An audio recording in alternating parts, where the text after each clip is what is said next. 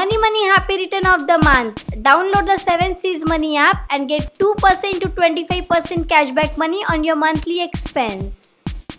गुरुवार की शाम ताजनगरी वासियों के लिए एक बुरी खबर लेकर आई पद्म भूषण से सम्मानित और विख्यात कवि गोपाल दास नीरज जी का दिल्ली के एम्स में इलाज के दौरान निधन हो गया उनके निधन की खबर मिलते ही समूचे साहित्य और काव्य जगत में शोक की लहर दौड़ गई तो वही आगरा के गणमान्य और बुद्धिजीवी लोगों ने उनके निधन पर दुख प्रकट किया।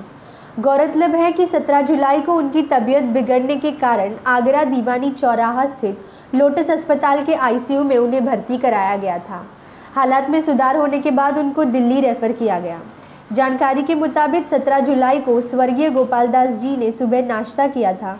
उसके बाद लगभग नौ बजे उनकी अचानक तबीयत बिगड़ी और डॉक्टर अनुपम शर्मा की देखरेख में लोटस अस्पताल में उन्हें भर्ती कराया गया था, जहाँ डॉक्टर ने उनके शरीर में इन्फेक्शन होने की जानकारी दी थी।